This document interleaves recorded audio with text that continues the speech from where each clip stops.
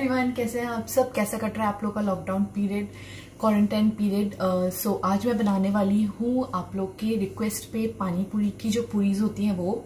Uh, गोलगप्पे पानी के पताशे या फिर पुचका कुछ भी आप बोल सकते हैं। तो चलिए शुरू करते हैं। सो so गैस मैं यहाँ पर ले रही हूँ एक कटोरी आटा और इसी कटोरी का वन फोर्थ कटोरी मैं लूँगी सूजी या फिर रवा। तो ये आटा मैंने डाला। ये है सूजी की quantity guys one fourth cup सूजी ले रही हूँ मैं. इतना हम नमक ले लेंगे.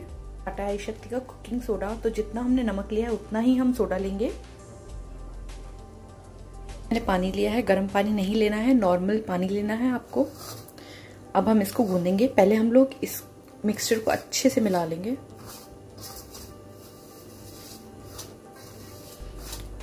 और हम लोग को हार्ड आटा गूंदना है. आटा आपका बहुत सख्त होना चाहिए।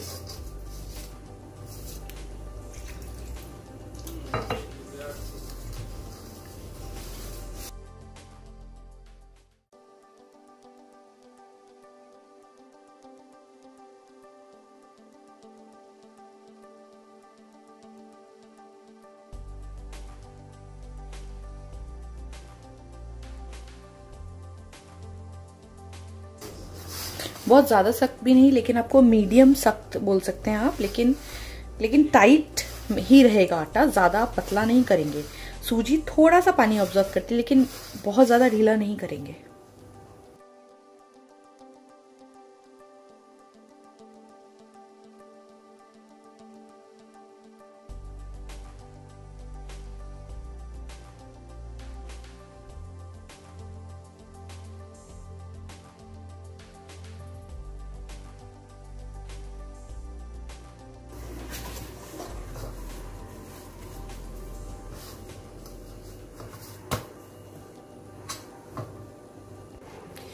अब आप ध्यान से देखिए, ये स्टेप आधा घंटा हो गया है। अब मैं इस आटे को बहुत अच्छे से मसलूँगी।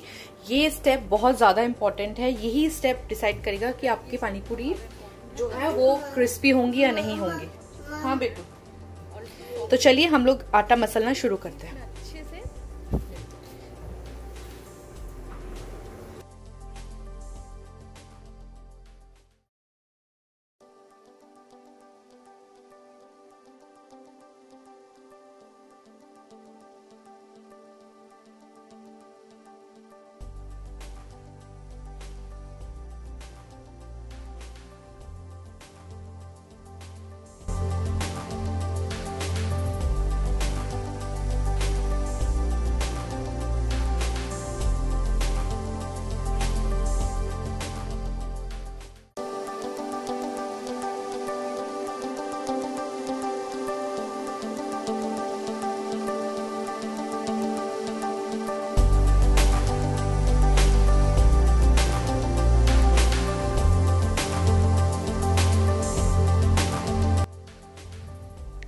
सो so गाइस अब मेरा आटा सॉफ्ट हो गया है और मैंने बड़ी बड़ी दो पीढ़ियाँ बना ली हैं।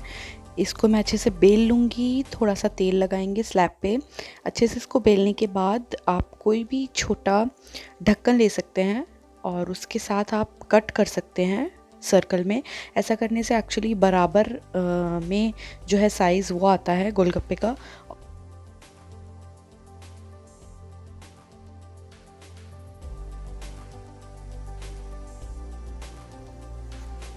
और इस तरीके से मैंने एक ढक्कन ले लिया था।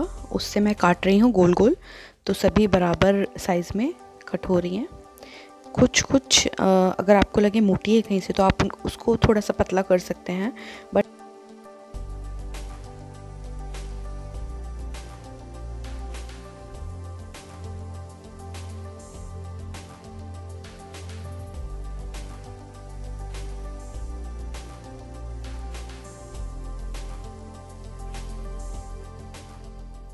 सो गाइज़ ये और एक मेथड है जो मैंने छोटी छोटी पीढ़ियाँ बना ली हैं और मैं छोटे छोटे पूड़ियाँ बेलूँगी। सभी पूड़ियों को मैंने कपड़े के ऊपर इसलिए रखा है क्योंकि उसके बाद जो है वो तलने में आसानी हो जाती है। अगर आप एक साथ बेल के रख लें और फिर आप एक साथ तलें तो आसान रहता है।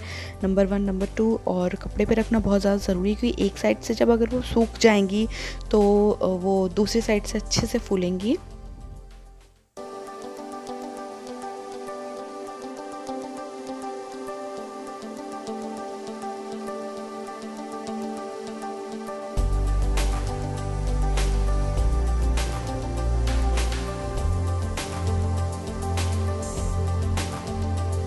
सो गाइज़ अब मैं जहाँ से मैंने शुरू किया था फ़र्स्ट जो मैंने बेली थी, वो वाली मैं पहले डालूँगी। देख सकते हैं आप, मैंने तीन तीन करके डाला है और अपन को पलटना नहीं है पहले। पहले एक साइड अच्छे से लाल हो जाए रेड उसके बाद आप दूसरी साइड पलटेंगे। अगर आप एकदम से दूसरी साइड पलट देंगे तो बहुत सॉफ्ट हो जाएँगी पूरी और जो है, वो हार्ड नहीं होंगी क्रिस्पी नहीं होंगी और बहुत ही ज़्यादा सॉफ्ट सॉफ्टनेस आ जाएगा, अगर आप एकदम से पलट देंगे तो। तो अब देखिए, एक साइड में हो चुका है ऑलमोस्ट गोल्डन तो मैंने पलट दिया है। और आपको अच्छे से इसको तलना है, एकदम जो डार्क गोल्डन हो जाता है, उस तरीके से, तब तक आपको इसको तलना है।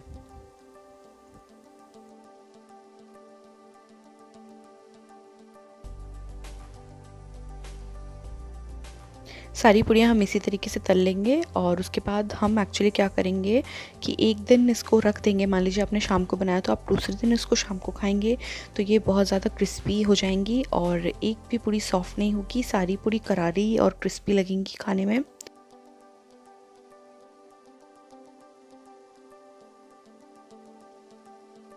ये देखिए, सारी की सारी तल के तैयार है और हर किसी का आप कलर देख रहे होंगे। डार्क गोल्डन जैसा आया है एकदम। तो आपको इसी तरीके से तलना है। ये देखिए सो गाइस ज़रूर ट्राई कीजिए और मुझे टैग कीजिएगा। Thank you for watching